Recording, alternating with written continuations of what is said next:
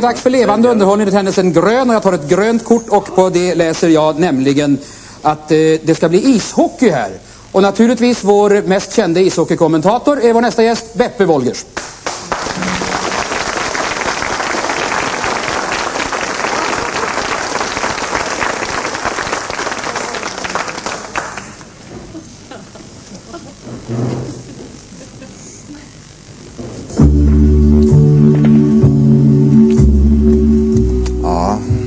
Här kommer nu eh, brasar. Jag eh, passar pucken till sin eh, ryska motståndare. Vilken rek och, och bussig kille han är, brasar. Det var, det var snällt gjort av dig, hörru du. Det är underbart med sån här eh, tjusig ishockey.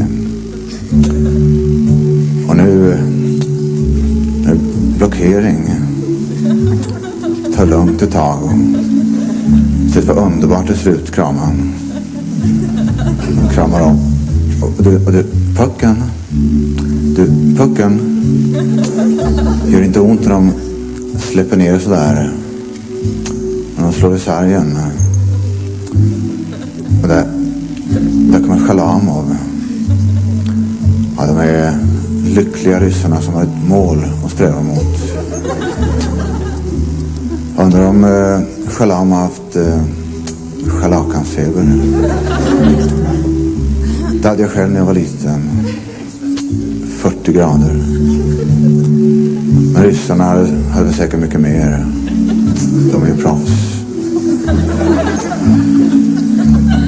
Och där kommer nu... Eh, där kom- kommer forward där, Jax.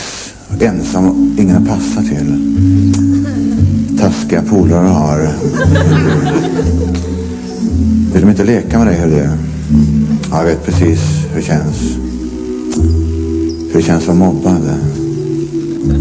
Jag var själv mobbad när jag spelade brännboll i skolan. Och där har vi Honken. Den underbara Honken. I byxor blå som ett sommarlov.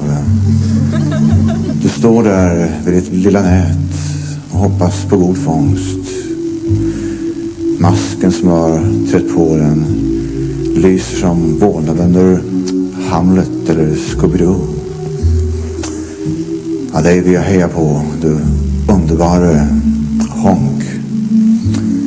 Trygg i kassen som en humla. Heja Honken, sluta fumla.